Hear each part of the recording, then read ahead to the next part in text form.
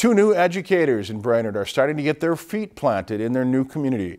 Today, both Hara Charlier, president of Central Lakes College, and Laine Larson, the superintendent of the Brainerd School District, attended a business meet and greet to discuss some of their early priorities moving into their new positions. Chelsea Brown tells us they plan on making it a collaborative effort.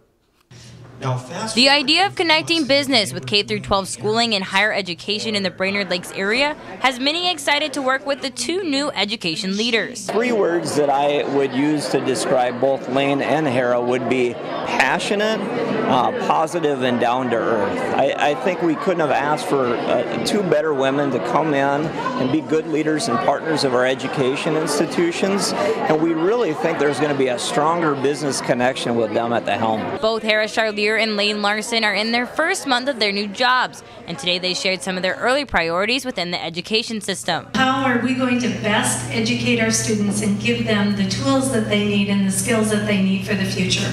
With online learning opportunities, post-secondary enrollment opportunities, college and the high school, whatever it is that we need to do, that we can partner to work together to help the students that we have in our school that become part of yours, which become great, productive citizens in our community. And after learning more about the community of Brainerd, the two new educators have some of the same ideas in regards to education and how to unite their efforts for the kids in the community. Together, we are committed to that. We know we have opportunities for students as we look at how they navigate their way through our, our school systems. We know those rides can be bumpy. We have an opportunity to strengthen those pathways. That work has already begun and make sure that students are spending their time learning not figuring things out. Knowing the potential opportunities in the community, they also realize the need for workers. And as education leaders, they want to change the narrative for college, meaning any path with a post secondary credential. As uh, businesses continue to look to find workers, and we have a critical shortage right now, we need to strengthen those relationships, and I feel they're going to take us to the next level. With those main priorities, they hope to train the workforce for tomorrow to benefit the community.